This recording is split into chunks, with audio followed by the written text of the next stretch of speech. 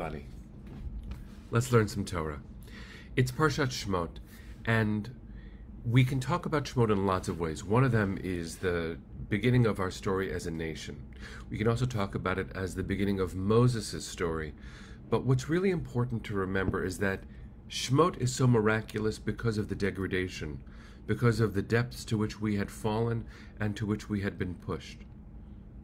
Whereas the Israelites, the Jews, had been parts of constructing society, doing our best as members of a greater community, to raise everyone up, to save lives, to do the kind of work that we do as Jews in the world, or we are called to do anyway, to make sure that justice is done, to make sure that the institutions that hold people in safe places are strong, and to be part of feeding people and clothing people and redeeming people fighting for peace. Well, in the ancient world and in the modern world, just because you have good intentions and try to show up as good citizens and neighbors doesn't mean that things go well. This has been articulated by early Zionist thinkers in the Jewish world like Herzl and Achad Ha'am, even other voices that aren't typically included in Zionist dialogue, um, like Jabotinsky or religious Zionists like Rav Kook, their original words, which I've been spending a lot of time recently with, are very helpful because they remind us of the necessity of a safe home. For the Jewish people, that means a Jewish homeland too, but it also means fighting anti Semitism wherever Jews live. Because unfortunately, since time immemorial, it has been a problem. So much so that when we look at this week's Parsha and we see the dehumanization process that Pharaoh and the Egyptians um, led against the Jews. And I keep on saying Jews, though obviously in the Torah there's no such thing as a Jew yet, it's Israelite. We were then named for Yehuda, our ancestor Judah. That's where Judaism comes from. But the kindred parts of our family's story means that sometimes I use the word Jew in the Torah. Well, when Moses came with the language of redemption that he was given by God to deliver to us, saying to Pharaoh, Let my people go, and telling the people, us, that it was time. It was time. Redemption time. Liberation time. Dignity time. Freedom time. We had been so crushed pressurized, condensed. The word Mitzrayim, Egypt, also is understood midrashically as Meitzarim, narrow waters, constriction. That when Moses came with the language of redemption, and Pharaoh said no and made us work even harder. This is what happens in chapter 6, verse 9. Vayadaber Moshe Cain el Bnei Israel. Moses spoke to the children of Israel, Velo sham'u el Moshe, and they could not hear, mikotza ruach umeavodah kasha, because of crushed spirits and cruel bondage, hard labor. Sometimes it gets so hard to envision that the world could be any better, that my lungs could include the air of freedom, that we can't even hear the message of the prophet. Yesterday we marked the 50th yahrzeit of one prophet, Rabbi Abraham Joshua Heschel, who became toward the end of his life dear friends with another prophet, Dr. Martin Luther King Jr. This is the final book that he wrote, Where Do We Go From Here? And in it, he sequestered himself toward the end of his life just before he was assassinated and wrote these words. And in the essay, the title essay, Where Do We Go From Here? I want to read to you just two small sections because the idea that the Israelites couldn't imagine their own freedom is unfortunately echoed through history. It should bring together all oppressed people to understand that we have a shared humanity that is sometimes denied. As Jews, we have learned this lesson, we continue to learn this lesson, and we will fight for our dignity. And we as Jews include so many different kinds of people, ethnic origins, racial identities. So many Jews of color, so many Jews from Middle Eastern states. There are so many ways that Jews show up in the world that when someone says you don't look Jewish or someone claims a Jewish ethnic origin as a racial identity, we are more complicated than that. And our inner diversity teaches us what it is to be a human being, too. Standing in solidarity with others is ultimately standing tall as a self. So I want to read something important. Well, the whole thing is important. Two small parts of what Dr. King wrote here. He wrote The great majority of Americans are suspended between opposing attitudes. They are uneasy with injustice, but unwilling yet to pay a significant price to eradicate it. I want to say that again.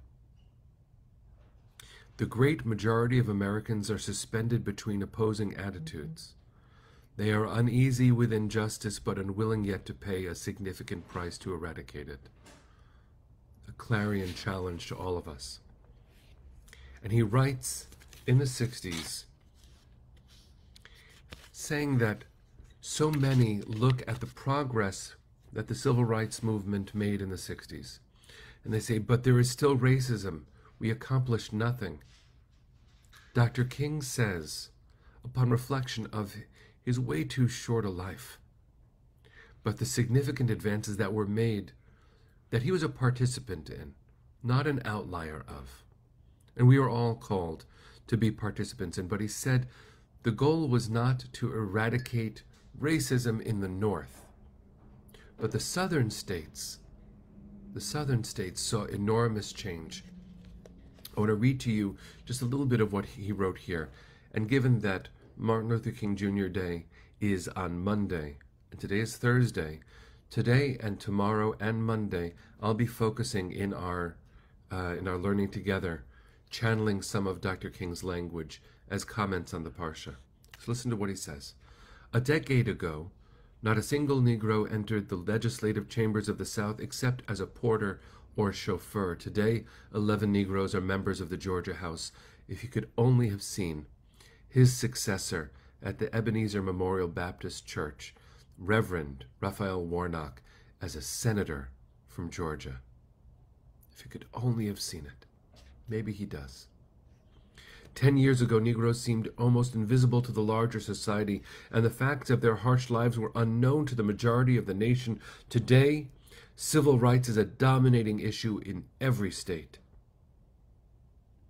Crowding the pages of the press and the daily conversations of white Americans. How right he was, how right he is, how incomplete the work is, but how miraculous the changes that we continue to see and push for in American society. In this decade of change, the Negro stood up and confronted his oppressor. He faced the bullies and the guns, the dogs and the tear gas. He put himself squarely before the vicious mobs and moved with strength and dignity toward them and decisively defeated them. Amen, amen, amen. For more than a century of slavery and another century of segregation, Negroes did not find mass unity, nor could they mass mount mass actions. The American brand of servitude tore them apart and held them in paralyzed solitude. But in the last decade, Negroes united and marched, and out of the new unity and action, vast monuments of dignity were shaped, courage was forged, and hope took concrete form. For hundreds of years, Negroes had, to, had fought to stay alive by developing an endurance to hardship and heartbreak. In this dec- decade, the Negro stepped into a new role. He no longer would endure, he would resist and win. He still had the age old capacity to live in hunger and want, but now he banished these as his lifelong companions. He could tolerate humiliation and scorn, but now he armed himself with dignity and resistance and his adversary tasted the gall of defeat. For the first time in history, the Negro did not have to use subterfuge as a defense or solicit pity. His endurance was not employed for compromise with evil, but to supply the strength to crush it. To crush it. The majestic words of our fallen prophet, Dr. King, the Reverend Dr. Martin Luther King Jr. hear his words and then hear again the verse from this week's Parsha. When Moshe, Moses, our prophet, brought this language, saying that God promises, "Vehiveti etchem el asher nasati et yadi latet ota laAvraham litzchak uLyaakov, v'natati ota lachem morasha ani Adonai." I will bring you into the land which I swore to give to Abraham, Isaac, and Jacob. I will give it to you for a possession. I, God. But when Moshe told this to the Israelites, they would not listen to Moses. They could not hear him. With crushed spirits from cruel, cruel bondage. How can we not hear these words, the words of prophets intermingling, after hundreds of years of slavery in Egypt, after centuries of degradation in America? These stories are one, friends. This liberation is a united effort that we are called to make, to celebrate, to amplify, to cry from, to be inspired by. The work is not done. We reread the words of our Torah, we reread the words of our prophets, and we celebrate the leaders among us who fight for justice. We amplify it as a core Jewish concern we stoke within ourselves the discontent with the way the world is. And we set our feet upon this earth, ready to march arm in arm with our sisters and brothers. The work of civil rights is certainly not done. Calling out institutional racism is a mandate. And as Dr. King pointed out in one of his final writings, where do we go from here? we dare not deny the progress that we have made, because that should be fuel for the work ahead. Just because we haven't gotten to the mountain doesn't mean we can't see it. We learned that from the giants. The giants we are blessed to have as long as we are blessed to have them. Moshe didn't make it to the promised land. Dr. King didn't make it to the promised land. We lost both but we have not lost their hearts, and we dare not forget their message.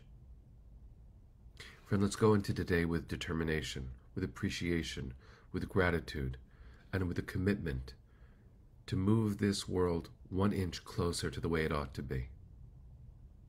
We dare do no less for the sakes of our children.